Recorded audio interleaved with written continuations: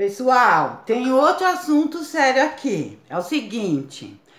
Eu tô recebendo pelo WhatsApp várias receitas, várias receitas de remédio, né?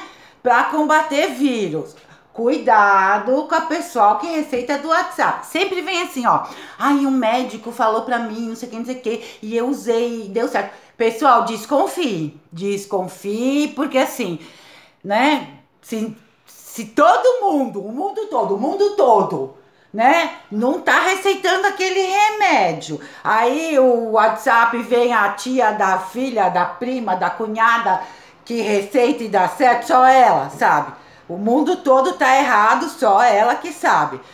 Pessoal, olha só, eu vou dar um exemplo que vocês vão entender. Quem é o Mickey? Hum?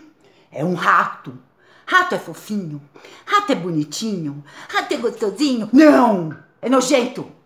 Como é que o Walt Disney fez do Mickey o rato mais famoso, querido e fofinho do mundo?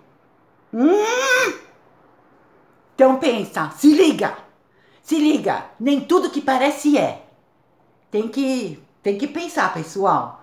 Para de ficar passando o WhatsApp com remédio de vírus.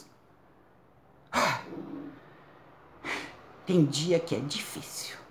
Hoje, especialmente, tá difícil. Mas vai melhorar. Vamos ser otimistas, né? É o que nos resta.